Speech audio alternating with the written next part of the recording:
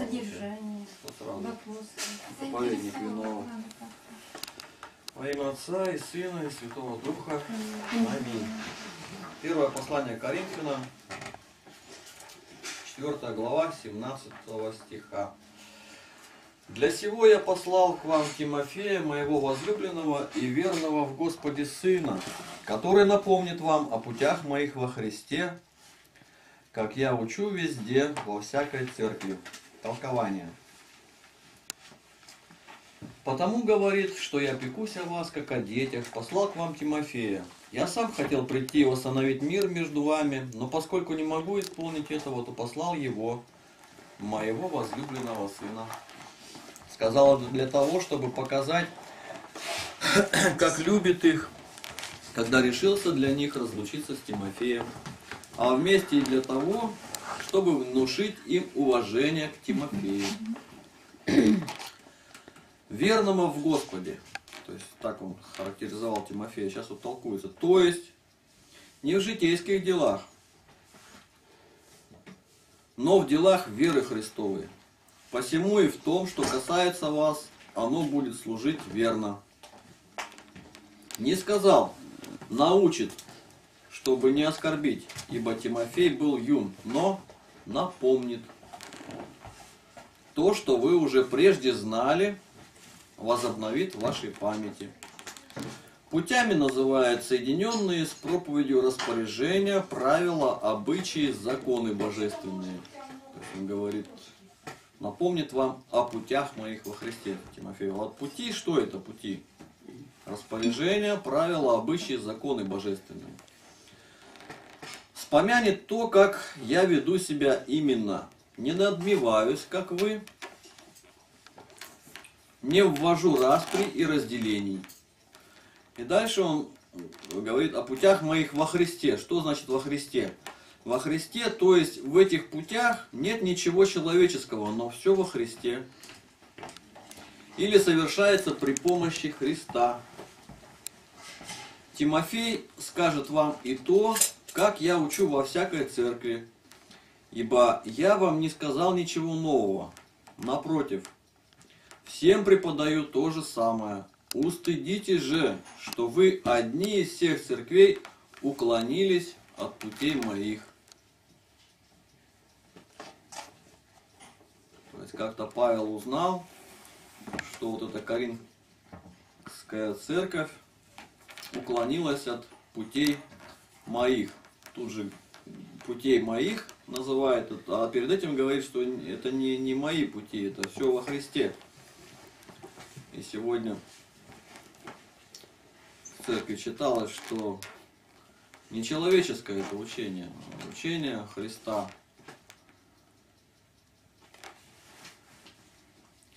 Вот э, мысли у кого возникли по этому стиху. Ну, все понятно. Посылает им Тимофея, сам не могу прийти. И пишет им, что Тимофей напомнит вам о путях моих, которые он уже когда-то им преподавал учение. Вот так как я не могу, а вот Тимофей придет и напомнит.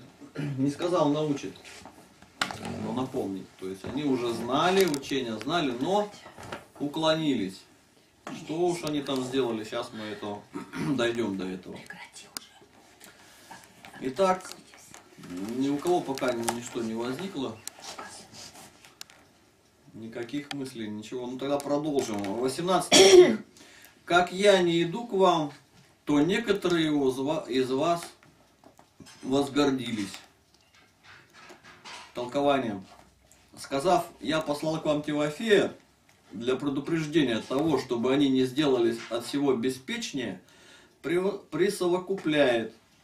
Хотя сам я не иду теперь, и мое отсутствие подало некоторым повод гордиться, но по этой именно причине приду впоследствии.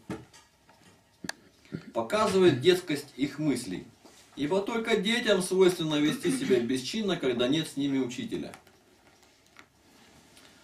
Кто же эти возгордившиеся? Вопрос. Ответ. Сообщники прелюбодея, который и мудр был, и богат, И просто все, которые превозносились мудростью и богатством. Они-то и гордились, как будто не было Павла для их обличения. То есть, как, как, как говорится, расслабились. Когда Игнатия Тихоновича нет с нами, расслабляемся, когда он с Потеряевки уезжает, дети прям вот сидят и в ладоши хлопают, играют, начальник уезжает. Также и такая же подобная ситуация здесь. Пока Павел был с ними, все, Павла нету, все, возгордились, начали прелюбодея слушать, все, всякие мудрствования его, к богатым прилепились. Все, и вот он им пишет, я вот пришлю к вам Тимофея, он напомнит, разве я вас так учил? Вот, а потом говорит, я и сам приду. Потом ниже еще знаем, да и еще и может с палкой к вам прийти, выбирайте вы уж там. Вот. Или с духом кротости. Сейчас до этого дойдем. Вопросы? Мысли? Пока нет ничего, да? Про- ну, может быть, пока себе за- дайте задание, чтобы не монолог было, все-таки занятие общее. Участвуйте. Я побуждаю вас к тому. То сейчас вопросы начну задавать выборочно. 19 стих. Но скоро приду к вам, если угодно будет Господу, и испытаю не слова возгордившихся, а силу. Толкование. Этими словами не излагает гордых и возбуждает их к трезвению. И хорошо присовокупил, если угодно будет Господу. Ибо все происходит по его мановению. Да, когда читал эти строки, думаю, ну как же так?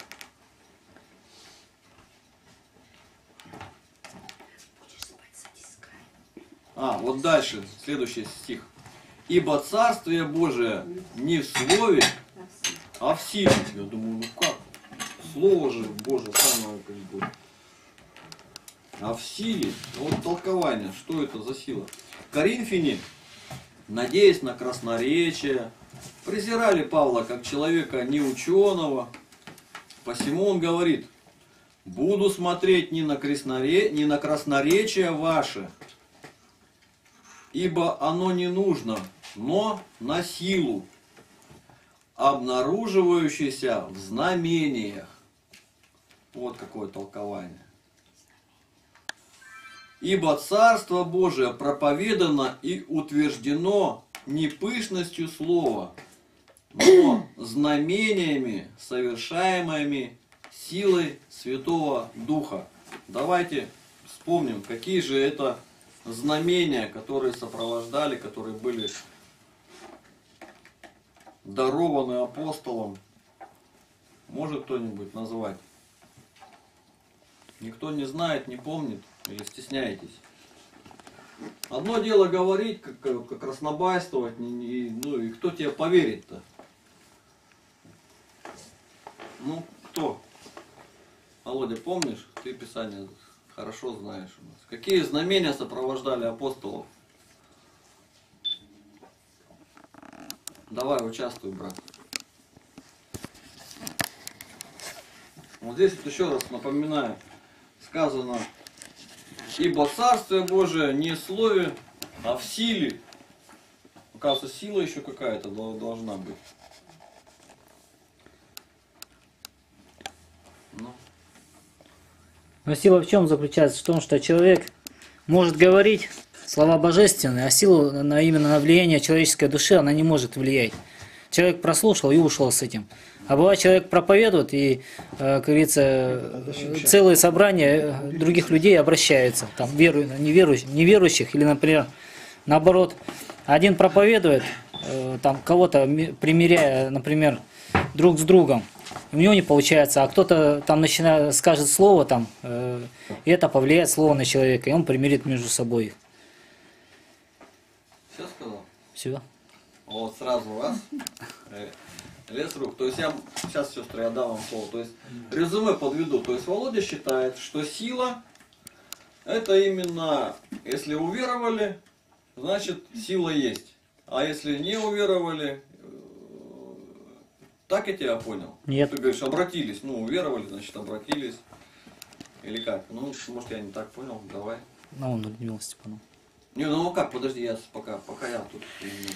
Я имею в виду, одному дано Богом эту силу испытать. В слове именно, в силу в слове. А кому-то не дано. Это опять же дается по молитве. Ну вот смотри. Вот Потому что один ходит, проповедует, а а, Понятно. Ну давай по слову Божию и по толкованию. У нас же занятие по толкованию святых отцов. Святые отцы толкуют о силе как? Где был? Что такое сила?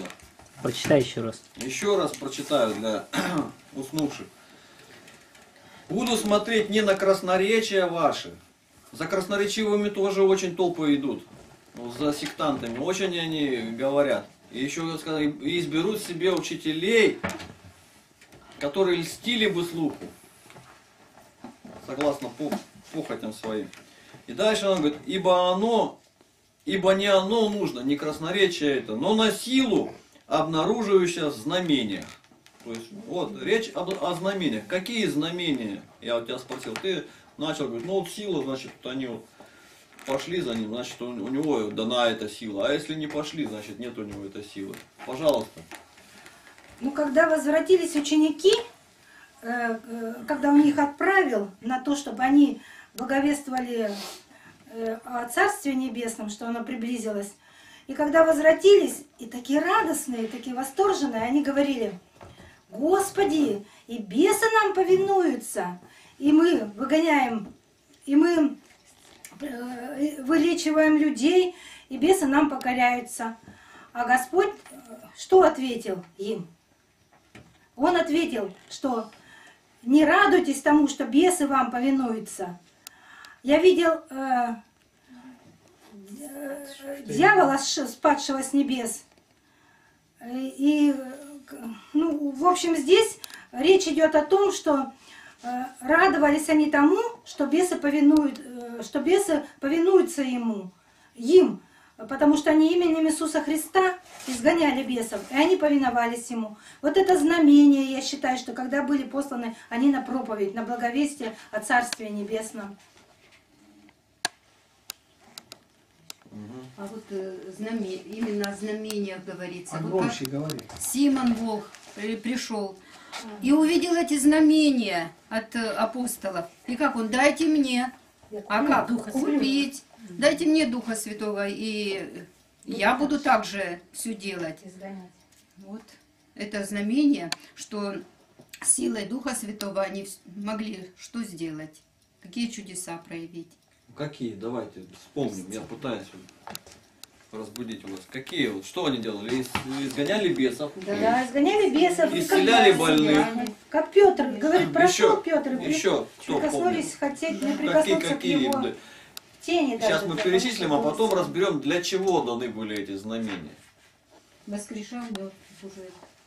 Мертвых воскрешали. Да, Лазаря. Дальше. Дальше, Господь. даже если кто смертоносное выпьет, Не погибнет. Змея укусила, отряхнул, думает, ну все сейчас, живой. И люди думали, вот это да. Вот э, о силе. То есть сила это во знамениях. Но опять же есть место Писания, Игнатий Тихонович любит. Кто любит знамения и чудеса? Елены и. Елены, все, ну, ну-ка покажи нам знамения. Он говорит, а не дастся вам. Кроме знамения Иона. кроме знамения Иона. То есть все-таки одно знамение он им оставил. Уж если э, знамение Ионы пророка, что это за знамение? Кто может рассказать? Да, ну давай, давайте, ска- ска- скажите, участвуйте. Ну, в чреве кита. В чреве кита Иона находился сколько дней? Три дня. Три дня, потом кит его Выбросил, выбросил. А за что ему такое было? потому что ослушался. ослушался. И как это знамение, вот Христос о нем упоминает, он говорит, вам дастся это знамение. И какое им знамение далось? Опять кит приплыл? Нет, а какое? Христос воскрес. Христос. А какая связь между китом и Хри- воскресением? Христа? Тоже в третий день Иисус воскрес. В третий день воскрес. Как? Иона был во чреве кита, так Христос три дня был в гробе. Да. Но его в пятницу распяли, а в воскресенье Воскрес. воскрес. Да. Значит, сколько? Пятница, суббота, воскресенье? Три дня, да? Или там было еще, я читал толкование, что солнце померкло, и это еще за один день. Нет? Нет? Три дня, да. Значит, пятница, суббота, и воскресенье. Так воскресенье же рано утром он воскрес, получается два дня. А третий день. Третий Третий день. день воскрес. Так и было написано в Писании. Вот. Вопрос в чем состоит? Что за знамение? Вопрос. э, Вот апостол Павел пишет письмо Коринфянам. И он говорит, ибо Царствие Божие не в слове, а в силе. И толкователь, я спрашиваю, что это за сила? Обычно мы все говорим, Слово Божие, Слово Божие. Про силу как-то, ну... И вот решили разобраться, что это за сила и в чем она выражается. Ну, нарисует на рисунок. Мужчина поднял окурок, вот так поднимает, говорит, сила есть, а воли нет. Раньше говорилось сила воли. Вот а сила и побеждение греха, это главное. А то у меня силы нет, я не могу, вот я запился, и как увижу, руки трясутся, надо выпить, надо в магазин скорее отнести свои деньги кровные. Силы нету. Так вот, ну а он прекрасно говорит проповедь, скажет, пьянство, он клеймит пьянство, а в этот же день уже кверх ногами лежит. Силы-то нету. И слова его никакой роли уже не играют. Ему никто не поверит. Как он показывает, граф Монте-Кристо. Вот уже готов ей на- назначить свидание, как католический. Сидит он за решеткой, там у них специальная комнатка такая. Она исповедуется с этой стороны. Она исповедуется о грехах, он говорит, род-то у тебя какой вожделенный. Он ей из- изъясняется в любви, она соскочила добежать. Силы нету. А говорили тут о знамениях что-то. Знамения такие, вот Татьяна. Сколько Татьян сегодня, ты думаешь? Счету нет. Сколько Татьяны? Половина пьяная. Так вот, первая-то Татьяна, от которой имена пошли, ее привели, в капище. Ну, против кого идешь? Посмотри, какие здания. Она говорит, здание, она так дунула, так и все рухнуло, и пыль только пошла и задавила все. Это Татьяна такая. Вот это было знамение. Она сейчас еще дунет, а у нее со стола крошки не слетят даже. Тараканом останется. Что именно за знамение-то? Это надо тоже разобрать сегодня. Главная сила проявляется сегодня в победе над грехом. Победе. А сегодня человек такой немощный, где-то что-то случилось, он уже застонал и никуда не пойду, да боязнь. Сила побеждать вот эти предстоящие нам испытания, опасности. Заранее настроиться, никакие это не опасности. Я легко пройду, легко. И все на этом. Надо настроиться на победу. Нам нужна победа. Вот и все. Двигайся вперед. 21 стих. Апостол Павел задает вопрос. Чего вы хотите? Жезлом прийти к вам или с любовью и духом кротости? Толкование. Жезлом называет наказание. Итак, говорит, от вас зависит с тем или другим прийти мне к вам. Если останетесь беспечными, то я приду и накажу вас, как Елиму. Деяние 13, с 8 по 11 стих. Найдите, пожалуйста, это тайный. Читаем. Если же отрезвитесь, то поступлю с вами по духу кротости. Что значит отрезвить? Еще они пьяные лежали? Деяние какой? Номер. Деяние 13 глава, с 8 по 11 стих. Поясни слово отрезвитесь. Ну, духовно пьяные были, сонные, уснули. Опьяненные вожделением, грехом. Человек сам, я Да. сам не помню. Вино и женщины. Все, поплыл и забыл, что начальник, забыл, что семья есть. Все, опьяненный, опьяненный грехом. Ему предложили где-то что-то, и он уже трясется, и он говорит, ну вот это надо сделать. А он трясется прям, еще кидает деньги, давай, тогда сделаю. Он опьянен этой жаждой, а в конце концов голова полетит. Есть в нем и дух строгости и наказания, но он именует его с лучшей стороны. подобно тому, как и Бога наказывает, называет щедрым и милостивым, а не карающим, хотя Он на самом деле и таков. Нашли, сестры, деяния? 13.8 о том, как Елему наказывали. Ай, Деяния 13, 8, 11. А Елима волк, Волк. волк, волк. Так переводится имя его. Противился им, стараясь отвратить проконсула от веры. Но Савл, он же Павел, исполнившись Духа Святого и устремив на него взор, сказал, «О, исполненный всякого коварства и всякого злодейства, сын дьявола, враг всякой правды, перестанешь ли ты совращать с прямых путей Господних?» А, и одиннадцатый? То есть, ну, до 11 стиха. Да. То есть не только апостолы.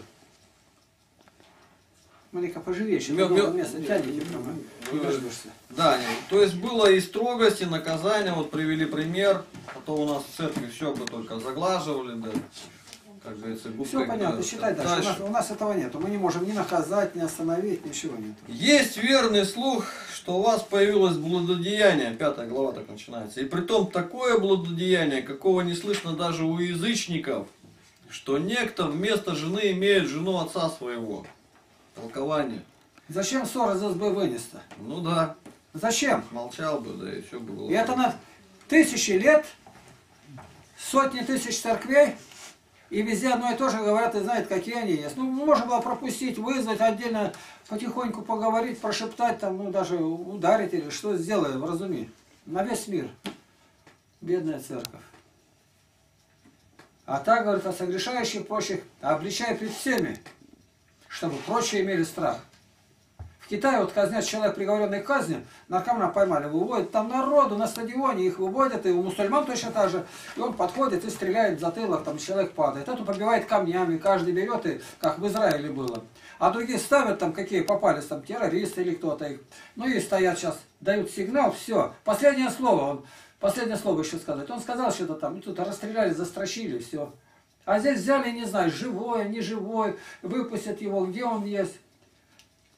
И э, во Франции гильотина, нож, женщина делает аборт, ее там как хомут сверху заложили, она вот так вот сидит. Дальше нож катится, нож вот так вот острый. Все, голова покатилась в корзину, по желобку, все отходит. А народ стоит, кричит, э, видит, все, на глазах-то. И другого уже не будет. За один аборт сразу голову на плаху. А сегодня хоть тысячи делаем. Почему? Это государственное преступление. Это душу отняли у государства. А здесь за перестройку 120 миллионов абортов было, и нужды нет никакой. Это какая гора мяса? Биоматериал. Выбрасывают, собаки растаскивают, все, биоматериал. Да зачем эта страна нужна, которая сама себя уничтожает, сгрызает? Ее никто не уничтожает, как сами себя. Какое тут знамение? Вот оно знамение самоистребления. Знамение так, ты начал говорить, а человек опомнился, встряхнулся и начал жить по-другому, как Юрий Богачев, как Бойко. А тут показать-то некого. Если обратиться, теперь только по мощам, там свои уже мощи носят, но ходит, по хадж совершать надо, это, крестные ходы. Нету жизни-то никакой. Даже он, человек перестал пить, а его сразу запрягают. И вот здесь приезжала Светлана Копылова. Мне уже месяца полтора назад звонили, она будет, мы вам билет возьмем, самый дешевый билет 600 рублей был. Там по 1400, вот, была она здесь, в Барнауле.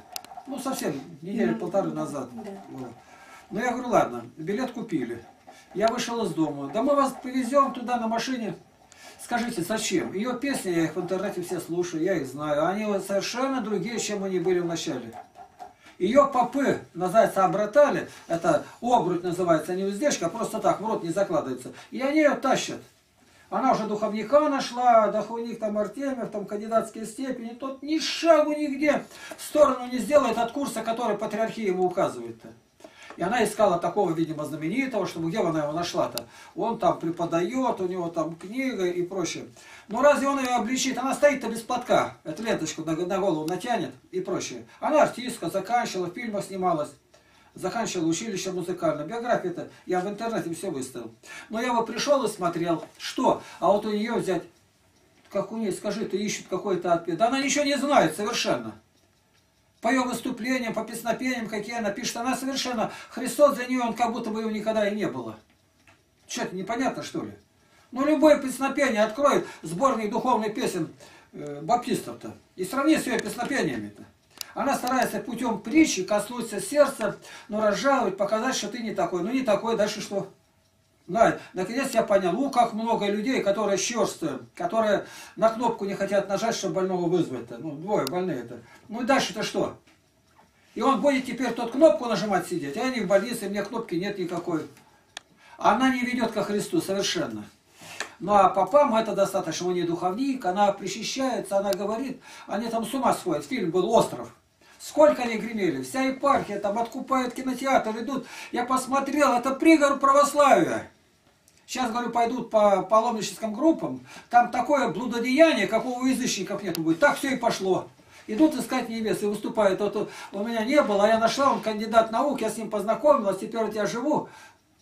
Допустим, пишут все правильно. Дальше ты не видите. Наконец ее нашли кто? Да уже два года как развелась с ребенком сидит одна. Дальше вы не продолжайте, не говорите. Ну, маленько-то подумайте. Встань, грешник, взглянь, взглянь на раны Христа, на терновый венок, и познай, как в любви он высок. Вот оно, что написано в песнопениях. Зайдем на Глагофу мы врат, посмотрим, как нашей греховности яд в жестоких страданиях Христа истомил, как дорого нам он спасение купил. Пойдем перед ним. Но это половина нашей литургии заложена здесь. Это писал-то человек, движимый Духом Святым. Как так говорить, это сектанты. Вот это и удивительно, что Дух Божий там трудится, а нас покинул. Вот и все. Если мы так же здесь, почему такие песнопения нету? Где они? Ну назовите, покажите, где? Даже на русском языке, когда поют эти барды, которые говорят, хорошие стихи-то, там ничего этого нету. Нету.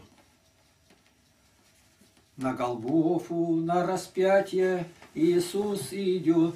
Струи крови по дороге из ран льет.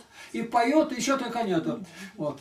Дал нам новое имя, нас зовут христиане. Это же не православное. А мы так уж привыкли, будто бы наше это все. Вот что нужно говорить. Это знамение.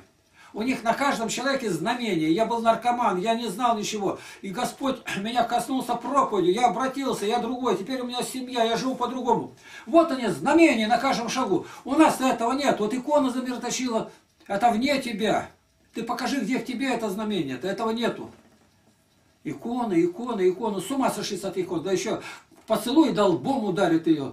Душ, как только звон медного котла не раздастся. Пустоголовая. И стоят священники, тоже икону поцелуй, долбом боднет ее еще стоит. А зачем голову освещать? А зачем она тебе нужна, голова-то безголовая? Без царя в голове, без царя в уме. Ну, нормально-то посмотрите. И будешь говорить, посмотри, как соблюдает субботу адвентисты седьмого дня. Какие они ревностные, как они любят Елену Уайт. Да они от нее труды какие получили-то. Великая борьба там и прочее-то. Это же не Блаватская. Я... Для меня она не святая. Я просто говорю, ну, добрая это где-то надо брать, смотреть, сами не знаем. От православных. В тюрьме сколько сидит? 3700 человек. Сколько православных? 3600. Так а в тюрьмах-то сколько? Два с половиной миллиона. Это все чьи? Все православные? И батюшка ходил, я причастил вчера, там 450 человек. Причастил. Кого ж ты причащал-то? А я в женском лагере был. Ну а были не причастили? Да, пять женщин на работе были, их не было. Женский лагерь намного страшнее мужского. Это змей ехидный в одной банке. И он пришел в один день всех. И они как курили, пили, блудодейщили, там с каблами с этими жили. Так все и осталось. Дискредитирована вера православная. Для людей, говорят, нужна какая-то тайна. Моя жизнь тайна. Понимая все, как вы в православии находитесь, зачем вы там находитесь? Вы же видите, это мертвая религия, религия тлена и костей. Они злобные друг на друга только нападают и в интернете грызутся одно слово, один палец не так. Тайна. Эту тайну они привозили из Прибалтики, чтобы приехать сюда и показать меня им. Есть православные, которые евангельские православные, которые все понимают. А почему православные не знаю? Ну, пойди, мы его убедим все-таки, чтобы он вышел из этого болота. Ну, приехали втроем, а обратно поехали вдвоем. Один остался. Дошел, говорит, и не возвращается, как при Иуе было. Надо работать, выпрашивать у Бога. Сейчас тут зашел, только вопрос одна. День рождения у друга. Я иду, какой подарок сделать, что сказать вначале, что в середине, что в конце, чтобы я и план составил. То я составил. Дни рождения не справляют христиане. Все. Все вопросы решились. А хочешь помочь, иди канон ангелу хранителю прочитай, причастись. А еще что, сходи больных посети, найди. А вот что сказать, что дать, ой, отец Игнатий, как мне охота это узнать. Сказал, благодарит. Сейчас прихожу епископ, фотографии епископа, соет мне материалы свои, чтобы я просмотрел, подает. Но я ответил, у меня нет возможности, и мой возраст не тот, чтобы сидеть. Он, поблагодарил, я гляжу ваши ролики, все согласны с вами. Но мои материалы проверьте, с чем не согласны, не обижусь, только скажите. Он епископ, фотографии отличные, Олег Ведменко. Украина. Вот это знамение. Знамение это, что говорит, не ты будешь к ним обращаться, а они к тебе. И бойте, говорит, головою. Писание говорит это. Надо это все смотреть. Давай, читай быстро. Толкование на стих 1 5 главы. Есть верный слух, что у вас появилось блудодеяние, и при том такое блудодеяние, какого не слышно даже у язычников, что некто вместо жены имеет жену отца своего. Толкование. Обвиняет всех вообще, чтобы не предались беспечности. Считает себя чуждым всего греха, но напротив... А, э, простите, обвиняет всех вообще, чтобы не предались беспечности, считая себя чуждым всего греха, но напротив старались исправить его как бесчестие общее. То есть он ко всем обращается. И не сказал, бесстыдно совершается, но есть верный слух. Если же запрещено даже допускать до слуха такое преступление, не гораздо ли более бесстыдно совершать оное? Тем более у вас, которые удостоены духовных тайн, и далее, усиливая обвинение, говорит, какого не слышно даже у язычников. Не сказал, бывает, но не слышно, что некто вместо жены имеет жену отца своего. Не сказал мачеху, но жену отца своего, чтобы напоминанием об отце сделать удар сильнейшим. Далее, стыдясь произнести имя прелюбодея, употребляет более благопристойное – иметь. Иметь жену отца своего. Второй стих. И вы возгордились вместо того, чтобы лучше плакать, дабы изъят был из среды вас, сделавший такое дело. Толкование. Гордитесь учением того блудника, ибо он был мудр. Заметь, мудр апостола. Он нигде не обращает своего слова к блуднику, как к человеку бесчестному, недостойному того, чтобы выводить его на среду, но говорит с другими, как об общем преступлении. Следовало бы, говорит, плакать, потому что на всю церковь распространилось поношение. Следовало бы слезно молиться, как о болезни и заразе, дабы изъят был из среды вас. То есть, да отсечется от вас, как зло общественное. Опять и здесь не упомянул о имени блудника, но сказал, сделавший такое дело.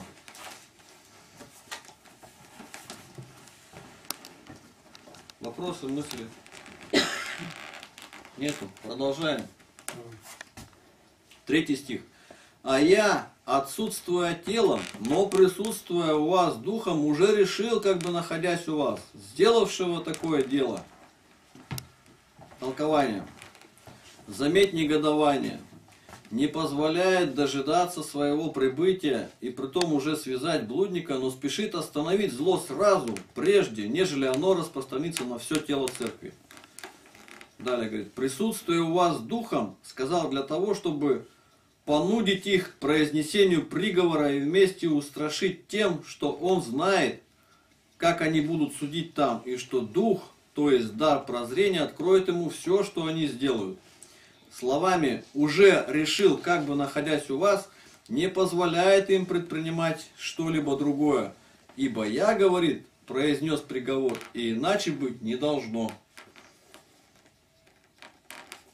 Продолжаем. Четвертый стих.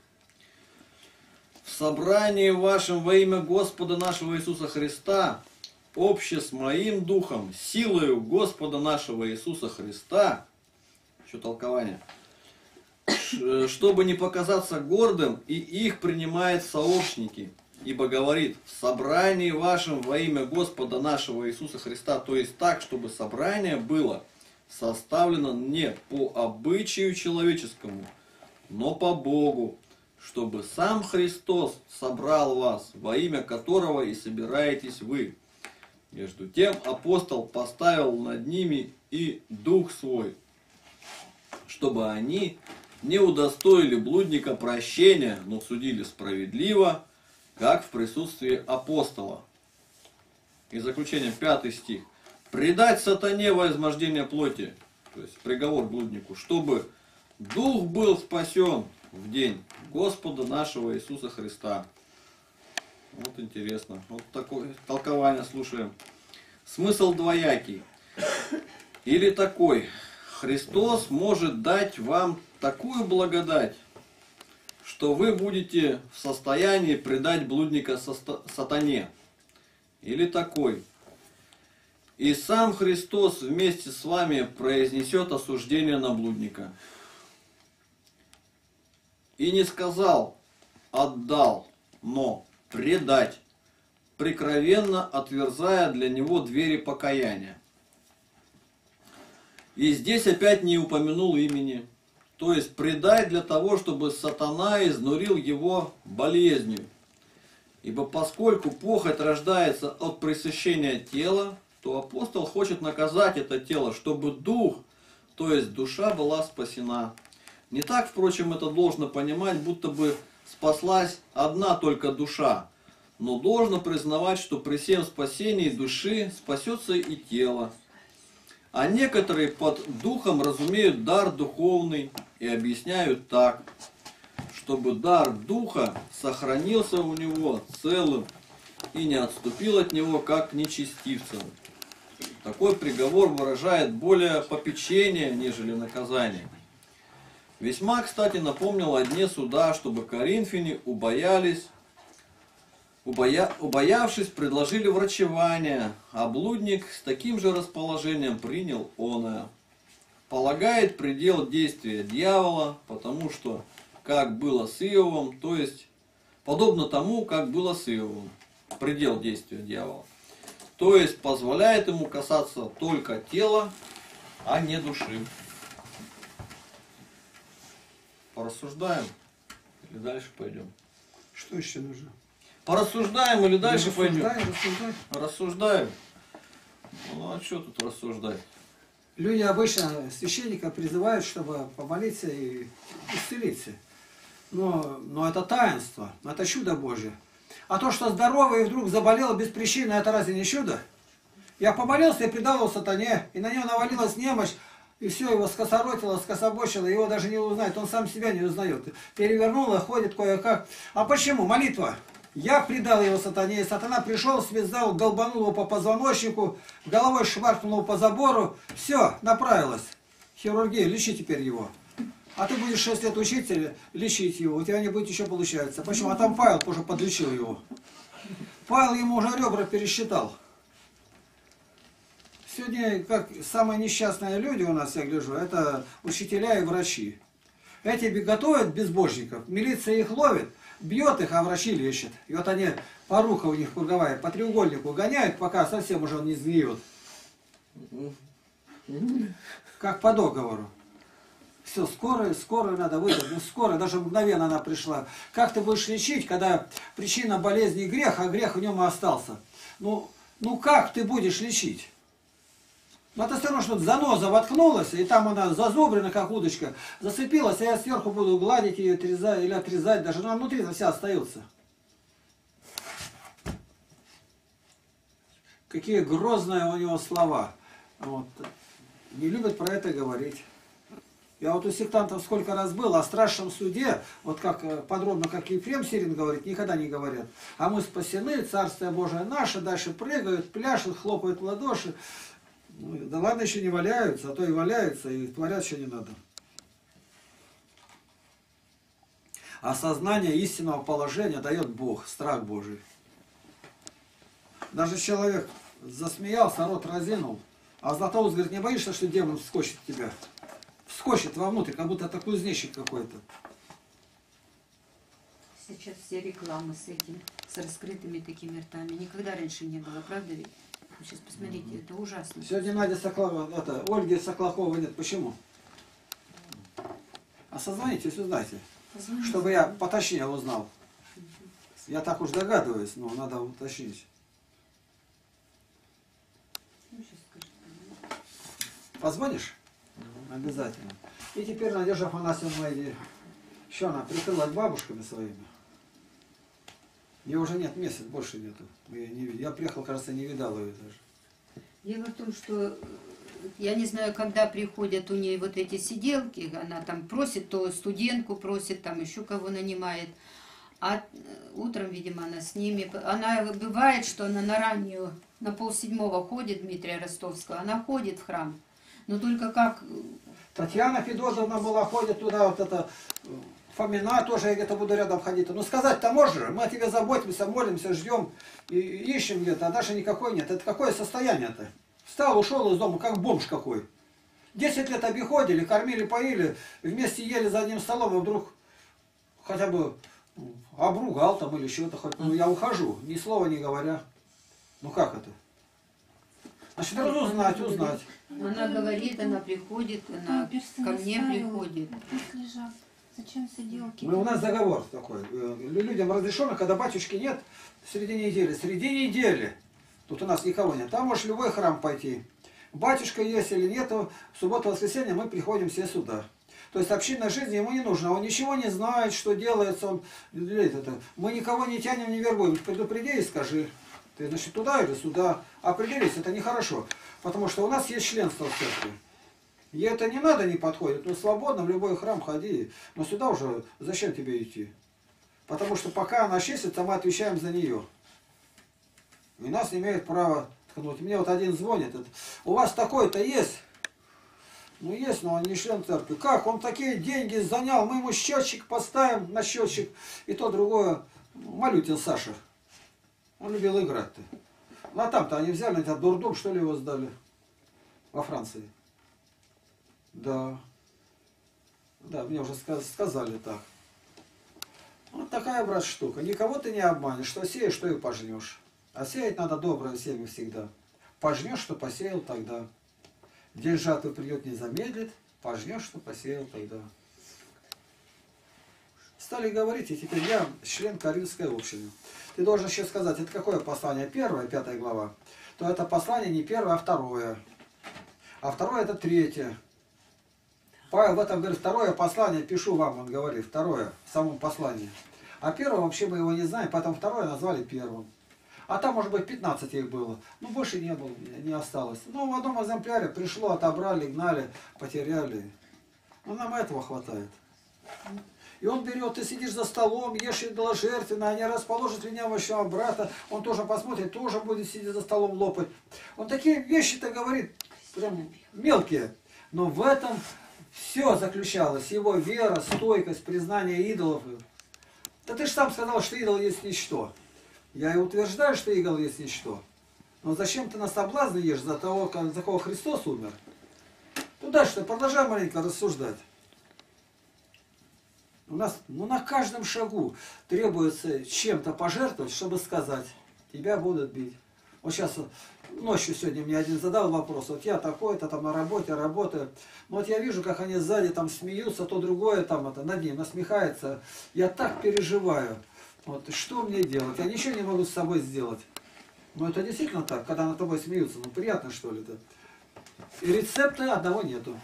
Отвергни себя. Как вот этот выполнишь, тебе разницы нету. Топчется на тебе, плюют на тебя, мне разницы никакой нет. Я знаю, мой Бог, наблюдающий, проверяет меня, как будет у меня на душе. Благодарю я Бога или нет.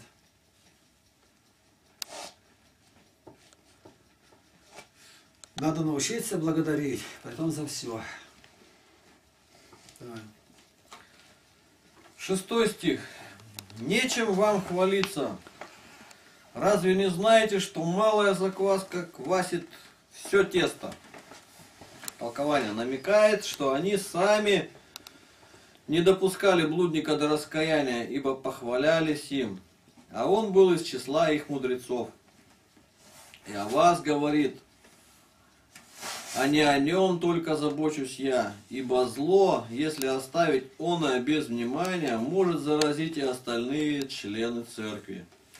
Закваска сама в себе малая, заквашивает все тесто и предлагает оное в саму себя.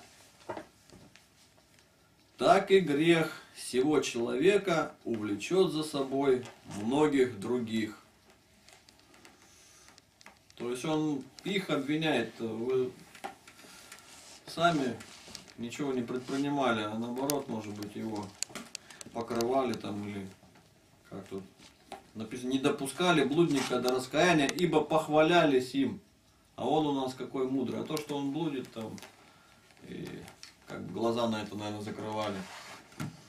И вот тут Павел заботится, что этот э, грех мог на всех распространиться. Вот мы на компьютер видео насчитали Матфея и Откровение Иоанна Богослова. Почти 100 файлов. Материал большой. Большой. Молодцы. Это вот скоро будут. У вас закрыто до полвторого? Да нет, пораньше. А? Пораньше. До наверное. часу. До часу, наверное, будем. Мы что-то начали. Ну, Через сколько? Я говорю, полвторого, пол первого Полдвенадцатого говорю. начали. Пол Пол, первого. пол двенадцатого ночи. Пол первого. Пол первого заканчивается. Я не посмотрел. А Николай на работе? Не Седьмой стих. Итак, очистите старую закваску, чтобы быть вам новым тестом, так как вы бесквасны, ибо Пасха ваша, Христос, заклан за нас.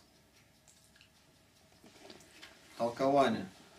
То есть изгоните всего блудника, или лучше прогоните и всех других нечестивцев, ибо старая закваска называет всякое зло. зло. В греческом тексте сказано не просто очистите, но вычистите. То есть совершенно очистите, да, да будете тестом новым, не имеющим примеси зла. Так как вы бесквасны, говорится, вместо, как и должно быть вам бесквасными, то есть чуждыми старого зла, которое при раскаянии оказывается и кислым, и горьким. Упомянув о бесхвастных хлебах, о пресноках, которые употребляемы были в пищу на, Пасхе, на Пасху, и объяснив аллегорически, что означают бесквасные хлебы, именно жизнь непричастную зла, теперь аллегорически объясняет саму Пасху и говорит, что наша Пасха есть Христос, закланный за нас.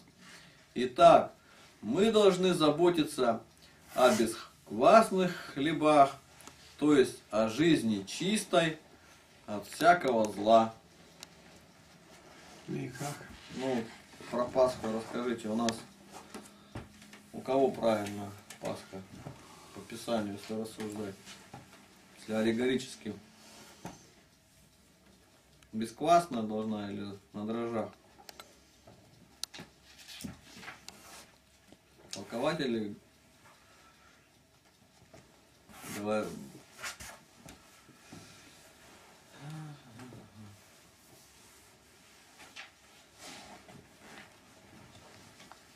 Ну что, все спрашивают и все, замерли.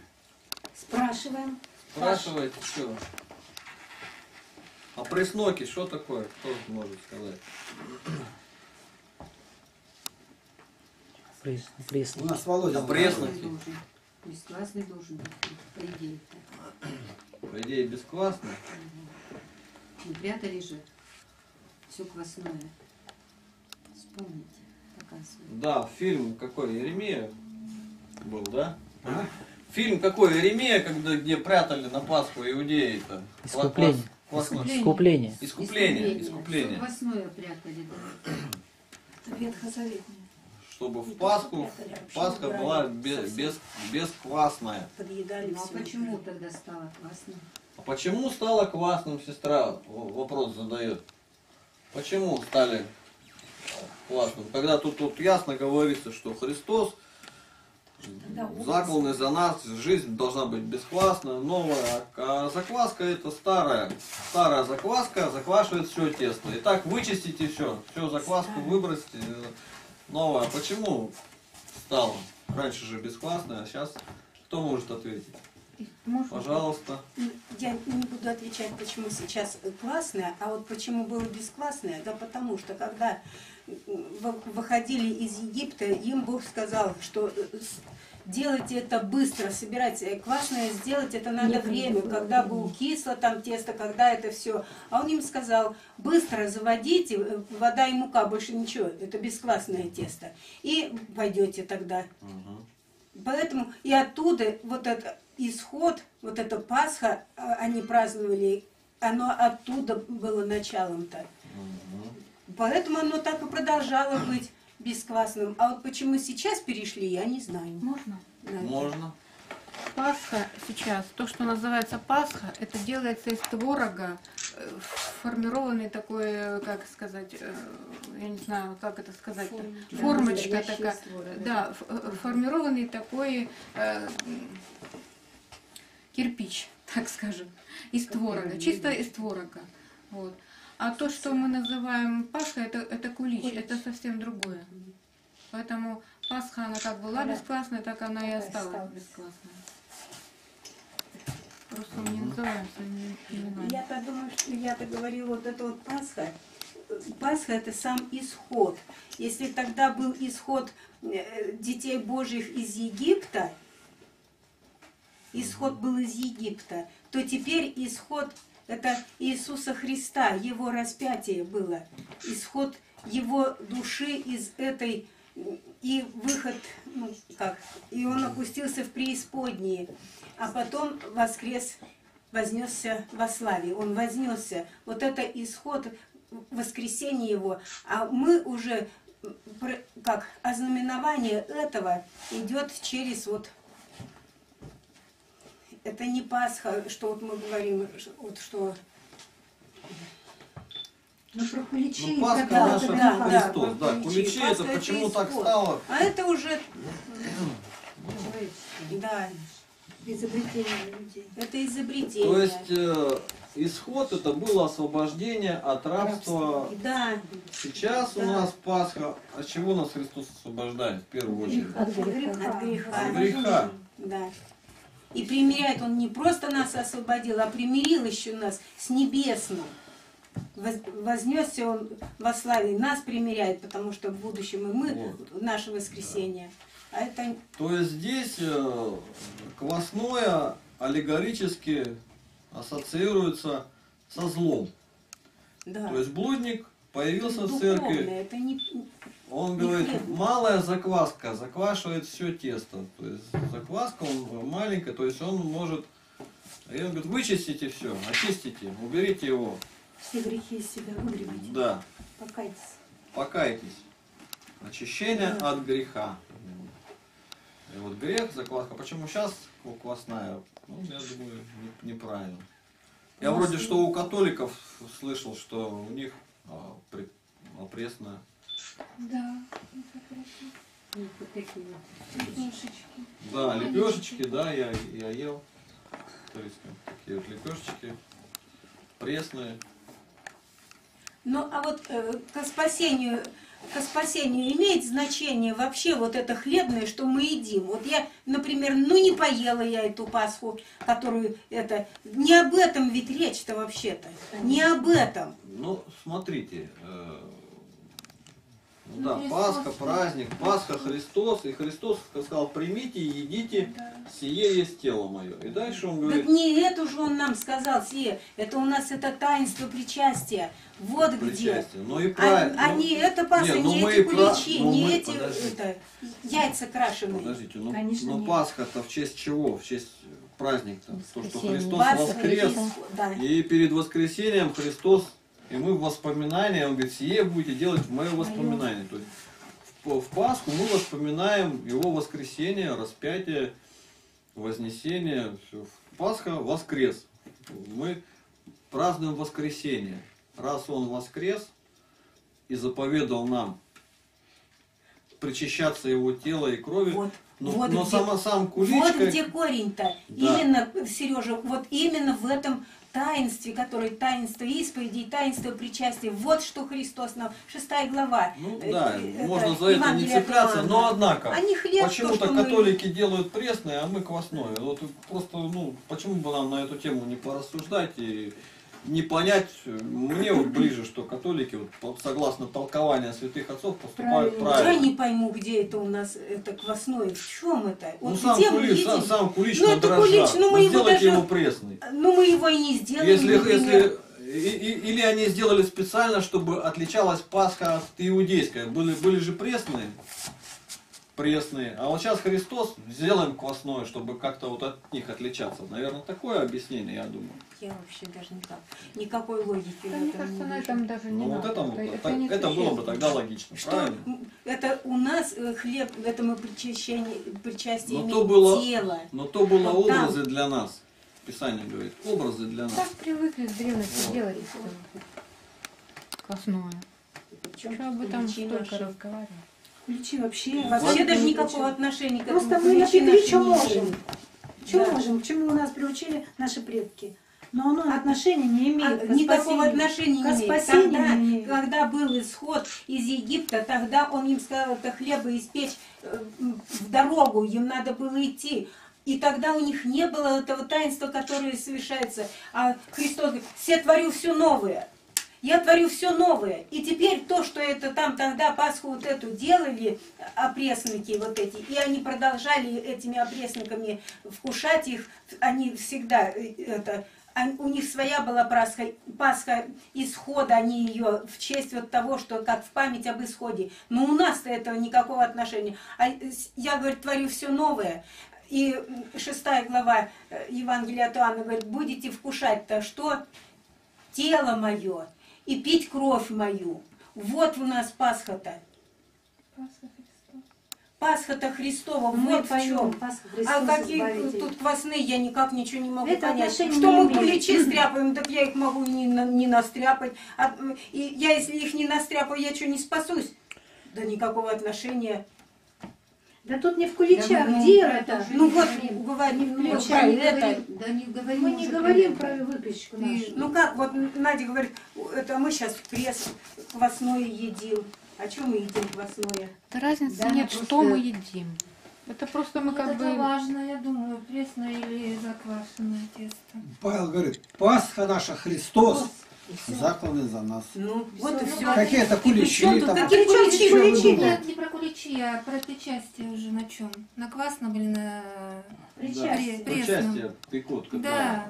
ви- вино пускают, квасном. хлеб. Вы знаете, вот эту, эту это. сторону даже нам и трогать не надо. Да. Есть люди, которые э, этому специально занимаются. Что, как он там делает, как идет преосуществление. Это нас не касается. Нам вынесли тело Христова и кровь Христову. И мы подходим к чаше, к живому Христу. Закваска что означает? Закваска это, это учение Христово, это э, учение Это от грех. Царства Небесного. Это грех. А, Это грех на это грех. грехом, Ну да, ну, В другом месте это закваска Христова, это учение. А здесь говорит грех. Вы бесквасны, Павел говорит. Вы без греха. Очиститесь от старой закваски, призывает. Ну правильно же, никакого отношения к тесту нашему. Сегодня уж Да, не нет. ясно. Дня пресников совершил Пасху, значит пресный был. А у православных квасный. Для причастия на, квасный чем, делают. причастие? Даже здесь Причастие он. квасный, Вот тебе сейчас отвечают, квасный делают. Причастие квасный. Хлеб. Квасный делают. Почему? доказать еще нельзя. Когда яснее ясно, были дни опресноков. А Христос сделал на квасном. Его бы убили сразу. Да. Там написано, да будет предан смерти. неправильное у нас. Надо на пресном. На Но пресном. вот это непокоривость. И что у православных повернуть на опреснок, это невозможно. Католики все совершают на опресном. 2000 лет. Ну, а если это заповедь? Какая заповедь? Ну, Христос э, совершал это на пресноках Пасху. Мы принимаем как есть, мы ничего не меняем, но я имею право обдумать этот вопрос. Игнатий Иванович, можно еще тогда вопрос? Когда Христос говорил, что будете пить кровь мою и есть тело мое, там ведь не сказано, на чем оно будет приготовлено. Как это будет? Там вообще об этом ничего не говорится. Почему? Ск- Нет, Говорится, не были дни опресноков написано. Ну, это мы- это было Христос до. преломил пресный. Пресный. А почему мы сейчас должны заквашивать? Христос Почему? На каком основании? Пасха называлась. Дни опресноков, 7 дней. Да. Другого названия не было. На Пасха Дни опресноков. А у нас Мы тоже. равно. Пасха я квасное. Господь же совершал на пресноках и всем давал по кусочку и вино пил. Мы не говорим, что оно недействительное, об этом даже речи нет. И Иоанн Златоуст уже все это было основано. Но внутри себя мы можем подумать, что же так они держатся. Отдельно дал чашу, отдельно дал хлеб. Ну не было, что туда накрошили и с ложечки давали. Этого нету нигде. Но было объяснено там благочестивая причина от колдунов избавиться. А избавились. Их еще больше стало. Вообще. У него там были колдуны, а я-то при чем здесь? Ну его воюй с ними, с колдунами. Они во рту волхвы уносили. Да сейчас он э, священник ходит, Кашпировского смотрит. Ну, может, потому что у нас заквашено, и поэтому колдунов полно. Надо уметь разобраться. Да. Вот вердикт вынесла вообще. Дрожжи виноваты во всем. А что, если мы неправильно совершаем? Да Бог совершает при осуществлении изменения этого. это. Бог Вообще лучше даже совершает. не думай. Ты даже вообще об этом вот... Об Не этом думай, ну как это не Нет, думай? вот Ваня. ты прямо... Не, порассуждать мы Ну, имеем право, но Как не зацикливаться думай, на если- этом, что вот это не надо да, говорить. это Мы не действительно признаем, А действительно среди все не действительно. Все, кого? Мы закончили. имеем право спорить-то не имеем всеми Вот сейчас восьмой стих прочитаем. и Будет ответ. да- и- да- будет ответ. И Да. умолкнем все. Восьмой стих. Посему станем праздновать не со старою закваскою, не с закваскою Вот порока и лукавства, но со пресноками чистоты и Опять истины. же, соответственно. Дело, значит, не, не в пресном и квасном, а чистоты и истины. Тут можно и буквально Ну, понимать, пусть конечно, она это но, же духовность. но привязываться к э, аллегорически, Ну, конечно. если бы духовное Господь бы э, на квасном и опресноки бы не за... Да, вот сектанты, они не причащаются, говорят, ну это же не буквально, говорит, ну как так тело? И многие отошли, и он говорит, Христос, а не хотите ли вы отойти? Они говорят, у тебя глаголы вечной жизни, а они не сказали, что у тебя тело, вот и мы будем. Меня Конечно, интересует, вот когда Господь это сказал, люди отошли.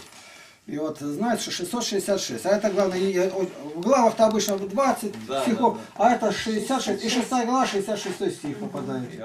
Три шестерки. Настолько, Да. конечно, никакой роли не играет. Ну, я по неволе посмотрел, значит, в этом заключается какое-то непослушание. То есть Христос сказал, едите, кто не будет есть, не увидит царство.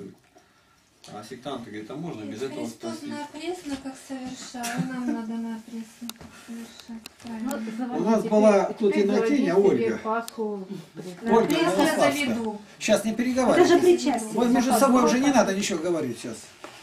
Ольга Милославская, помните это? Да. Вот. И она все на меня вы- выходила, выходила, я не, по телефону не говорю, а она все-таки старалась как-то это. И вот а, и у нее это непокоривость, вот такая вот это, она непокоривая где-то. В конце концов, что все бросила, ушла к адвентистам. Это не просто так слова я говорю. Сатана на этом ловит. И ушла она к ним, а дальше мне и говорит, вот мама умерла, но сестра там с зятем хоронили.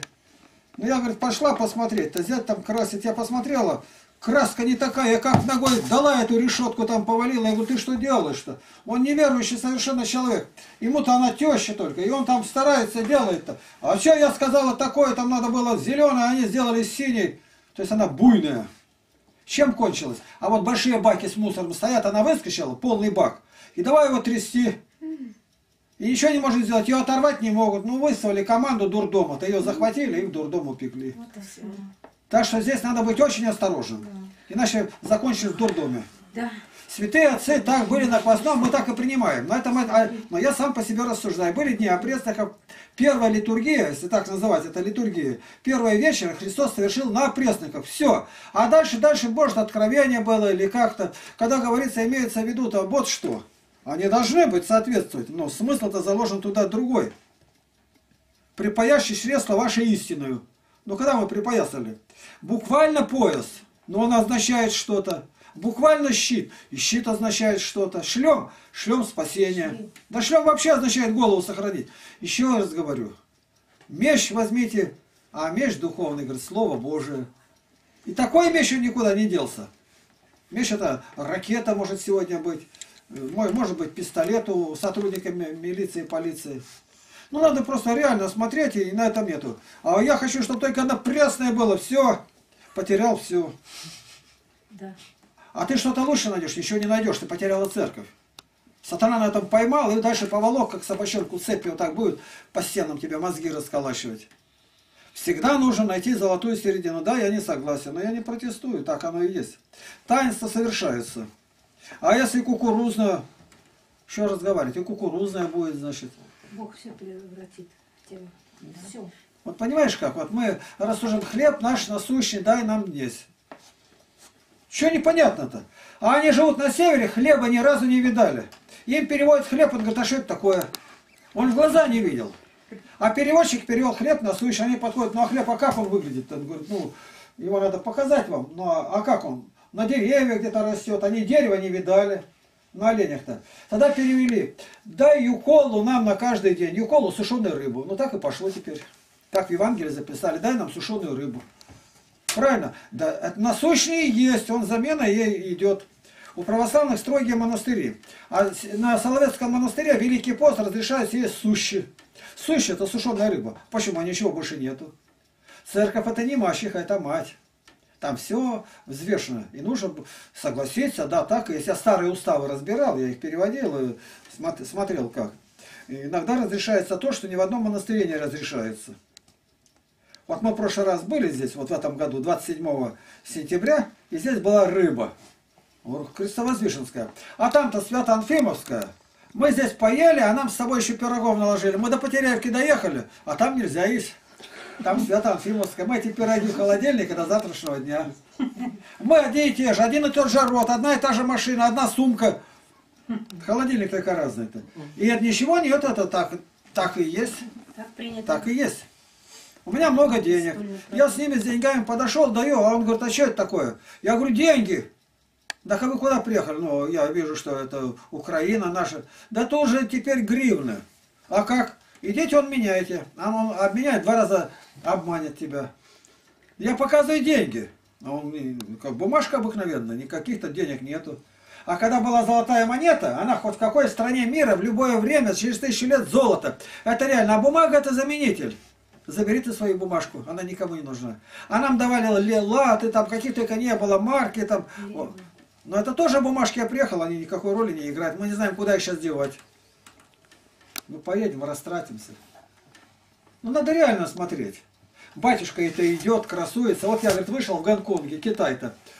А там идут буддисты одеты, я стою как пужало на огороде, пугало-то. И никого нет, гляжу, говорю, двое идут, подошли, батюшка, благослови. Пьяненькие мужики, русские ездили на заработки. Вытаскивает батюшка, я хочу помочь тебе, 100 долларов ему. Русские мужики. А батюшка говорит, вот здесь у нас генерал, у него звание звезда, в другом месте он никакой, там другое звание. Никто он совершенно, он может быть рядовой считается. Мы должны реально из той стороны, с того времени, экстраполировать, называется, события на сегодняшний день. Да, были опресноки, но нам не заповедано было опресноков-то. Вот она говорит, это действительно так. Нам не заповедано. А праздновать с опресноками чистоты, Павел не сказал с чистыми опресноками. А опресноком называется чистота жизни, чтобы мы жили не греховно. А квасной или не квасной уже ни одного слова нигде нету. Вообще нету. Вообще нету больше нигде. Это первая, которая была. Так тогда хватает, надо подражать во всем. Подражайте, купите тазиков, мойте ноги. Христос умыл ноги. А кто кому мыть будет? Ну, старшему, младшему. И поэтому в чистый четверг архиереи красивый тазик приносят, священники перед ним садятся прям в храме. И он начинает тут банно-прачечное отделение устраивать. Да, да специально покупали осла, чтобы он мог проехать на осле. Но осла нет, тогда уж на лошадке можно проехать. Чтобы во всем подражать Христу. Ты подражаешь жизнью, действиями, сила. Мы вчера в интернете прочитали, вот местный был епископ, и местные священники, когда он был здесь, написали патриарху письмо какое. Ой-ой-ой. Сидели, видать, грамотные. Он психически больной, он ненормальный. Какие действия у него есть, что он делал? Ему только в дурдоме место. Ведь убрали? Это в интернете все стоит. В интернете. Ну, ну зайди на мой сайт и посмотри. Я оттуда взял А от них. какой это вы это? В какой? Патриархины. Барнаульские священники. Барнаульские Собрались священники, я вместе все я и сказали, как, да никакого житья Барнаульские нет. священники. Не Это в этом заголовке был Да, да, барнаульский барнаульский. священник. Сейчас, А я- ну най- найдешь, надо я, Я скажу. видела, а ну я не сама читала. да? И они, священники, написали патриарху, уберите его отсюда. Он заел всех. Никакого развития, ничего здесь нету. Вот так. Он деспот. Чуть не так он там уничтожает, удаляет и прочее. -то. Он неверующий. Их приходит к выводу, там, вы волка прислали в овечьей шкуре, неверующий он. Всю алтайскую паству разогнал. А этот-то пришел, теперь священники вздохнули, нам приехали, у, к этому в любое время может прийти, то другое, его-то нету. На него очень большие жалобы были. Самодур из самодуров, говорит. Я не говорю, это я их слова говорю, как они. А. Может, такое и нужен был им, чтобы навести порядок. Это пьянство, маленько. Он, каждый пятый священник при нем был запрещен за пьянство. Каждый пятый. А Ты понимаешь, что такое каждый пятый? Четыре остается, пятый дало. Это 20% священников только под нож пошли по пьянке в Алтайском крае. Ну их надо убирать. Правильно, их и надо убирать. Мы вчера это все прочитали. То, что послали в патриархию. Тут они сами распространили это. Какая тайна? Я ничего не добавляю. И они перечисляют все его преступления, какие есть. Ну и э, у них журнал выходит «Алтайская миссия». И тогда из патриархии пришел, видимо, не на это, а на другой ответ. Что на Антония сам раскопал, не предупредил родственников, не сам на педемстанцию, никого, но он же был здесь, около этой, здесь же, прямо на территории-то, и похоронил его. Так ему, во-первых, э, на него же прокуратура пожаловалась, э, и тогда патриархия синодная вынесли ему порицание, и чтобы он опубликовал. И он в Алтайской миссии это все опубликовал, что ему дали подзатыльник. То есть родственники говорят, мы пришли, а тут только яма одна, почему так делают нас? Ему трудно было предупредить. Близкие друзья, священники ни одному не сказал, ночью тайно, как вор. И все это так написали.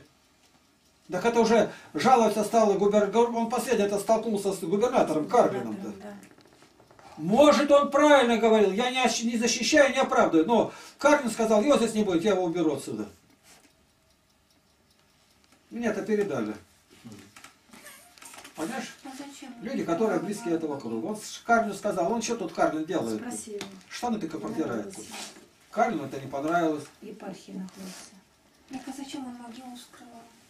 Что, Карлин? Губернатор Алтайского края. Нет, нет, могилу Он зачем скрывал, он перехоронил сразу. Максим. Нам что, мы говорим как есть. Я, я не против Максима. Нет. Он меня давил, не любил. Там, ну, мы расстались хорошо. Самое главное, это он был. И я зашел в интернет сейчас, а там в интернете мы с ним идем. Там, а, как он что говорит, и на фотографиях я сижу, и везде, главное, фотография написана в правом углу, съемку ведет Игнатий. Они сами там подписывают, чтобы все знали, где я есть. А тут общий снимок, и говорит, Игнатий сидит у ног у епископа там. Теперь вы вошли в московскую патриархию, никуда мы не входили. Он, говорит, пришел в московскую патриархию, чтобы еще сильнее обличать патриархию. Савонарола сибирский. Это был такой у католиков, который громил налево и направо, говорит. Снова, говорит, явился Савонарола. Андрей Кураев написал, самый сильный обличитель, кажется, патриархии, значит, Лапкин Игнатий. И отношение священников, понятно, почему оно такое. Потому что он все время, говорит, их обличает. Он не сказал неправильно. Или что-то. Ну, брат, такие, брат, дела. Давай поблагодарим Бога. За Максима мы молимся каждый день. Он нам не враг.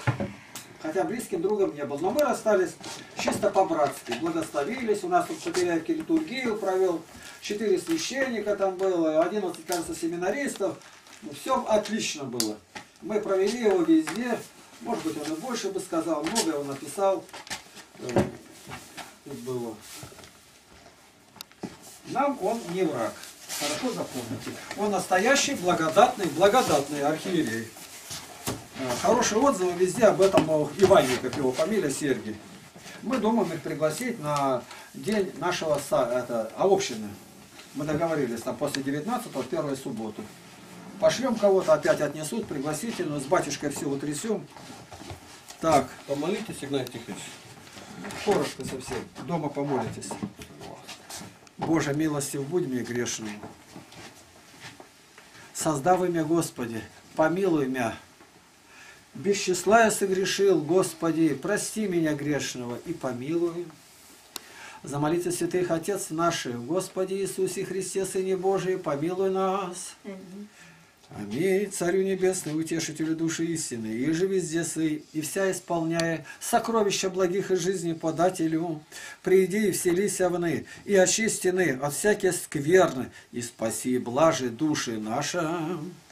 Святый Боже, святый крепкий, святый бессмертный, помилуй нас. Святый Боже, святый крепкий, святый бессмертный, помилуй нас. Святый Боже, святый крепкий, святый бессмертный, помилуй нас. Слава Отцу и Сыну и Святому Духу, и и присно, во веки веков. Аминь. Пресвятая Троица, помилуй нас. Господи, очисти грехи наши. Владыка, прости беззаконие наше. Святые, посети и исцели немощи наши имени Твоего ради. Господи, помилуй. Господи, помилуй. Господи, помилуй. Слава Отцу и Сыну и Святому Духу, и ныне и и во веки веков. Аминь. Отче наш, и же еси на небесех, да светится имя Твое, да приедет царствие Твое, да будет воля Твоя, яко на небеси и на земли. Хлеб наш насущный дашь нам днесь, и остави нам долги наши, яко же и мы оставляем должником нашим, и не веди нас во искушение, но избави нас от лукавого, и по Твое царство, сила и слава во веки. Аминь. Господи Иисусе Христе, Сыне Божий, помилуй нас. Господи Иисусе Христе, Сыне Божий, помилуй меня грешного. Слава Тебе, наш Бог и Иегова, Авва, Отче. Свят, свят, свят Господь Саваоф, вся земля полна славы Его, Аллилуйя. Слава Вышнему Богу на земле мир, человека благоволение. Благодарю Тебя, Господи Боже мой, за тот день, когда Ты даровал мне веру в Тебя, страх Божий и ожидание суда Божия. Благодарю за день, когда вручил мне святую Библию и указал на толкование святых отцов, как на истину. Аллилуйя! Пресвятая Госпожа Богородица, Преснодева Мария, Матерь Христа Бога нашего, спаси нас молитвами Твоими. Благодарю Тебя, Матерь Божия, что сохранила от падения сокрушения, предательства, измены, малодушия, уныния и отчаяния. Покрой нас самофором любви Твоей, о Бога Матерь! Аллилуйя! Ангел Христов, хранитель мой святой, моли Бога о мне грешнем. Благодарю Тебя, мой ангел, столько лет Ты хранил и защищал душу мою. Не покинь в смертный час, когда душа будет разлучаться от тела. И проведи душу мою по мытарствам, веди ее навеки вечное царство Христа Бога нашего. Аллилуйя! Иоанн Креститель, предтеча Христова, моли Бога о нас. Господи, научи нас жить и в бедности, имея пропитание одежды, быть благочестивым и довольным, никогда не роптать, и каждому дары жилье. Укрепи нас мужеством, дабы не страшиться царей начальствующих и не участвовать в бесплодных делах тьмы, но и обличать. Святитель Христов Никола, мир ликийский чудотворец, образ кротости и воздержания, добрый архипастырь, моли Бога нас. Благодарю за услышанную молитву о людях и животных, и впредь не оставь нас своим попечением. Пошли нам все необходимое для благовестия, поездки. Найди добрых людей. Мы так нуждаемся в этом. Святые пророк Илья, Елисей, Нох, Моисей, все святые пророки, молите Бога о нас, да исполнит Господь Духом пророческим церковь свою, дабы день прихода Твоего, нашего отшествия с земли, не застал нас внезапно. Но вышли навстречу Тебе, как жениху души нашей, с горящими светильниками истинной веры и сосудами, полными илея добрых дел, соделанных в Духе Святом с любовью. Аллилуйя! Святые ангелы, архангелы, херувимы, серафимы, все небесные силы, престолу Божию предстоящие, молите Бога о нас. Святые всехвальные апостолы, первый верховный Петр и Павел, молите Бога о нас. Святые евангелисты, Матфей, Марк, Лука, Ян, молите Бога о нас. Дарует Господь нам желание исследовать Священное Писание, ибо они свидетельствуют о Тебе. И мы через них надеемся иметь жизнь вечную. Аллилуйя!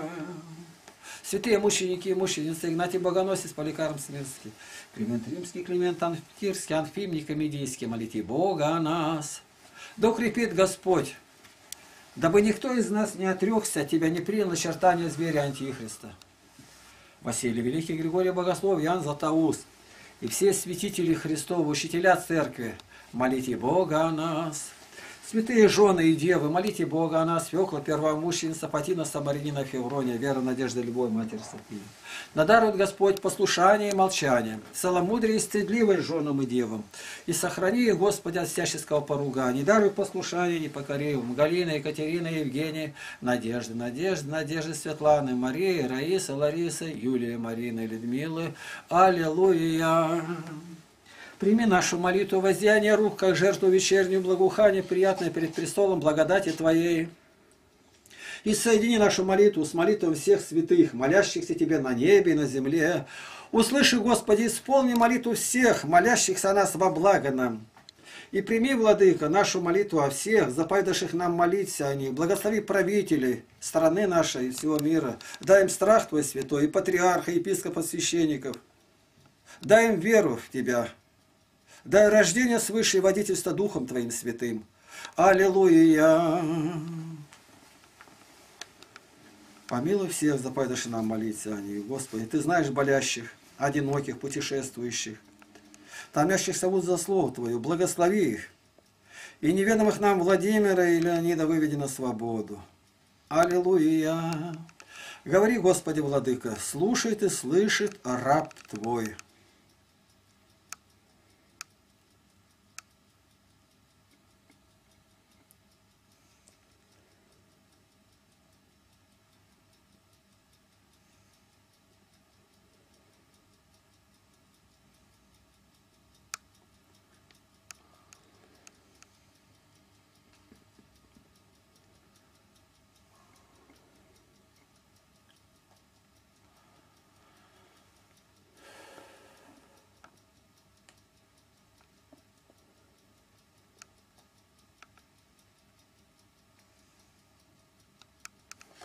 Аминь. Аминь. Вот, у меня на форуме поставлено, показано в Йемене христиане, то распятый на кресте в настоящее время. Висит на кресте, руки прибиты и привязаны. И вот рука, у которого... Ты Библию брал в руки? Брал. Значит, вот так вот на каждой руке делает 50 разрезов. И вот в этом месте вот так вот полностью отрезает, чуть-чуть остается. И как лапша, одна за другой, до кости. И который делает, говорит, я испытываю великое наслаждение, ради Аллаха это все делаю. И каждый палец так изрезаны, руки полностью негодны. И там и инфекция, что угодно.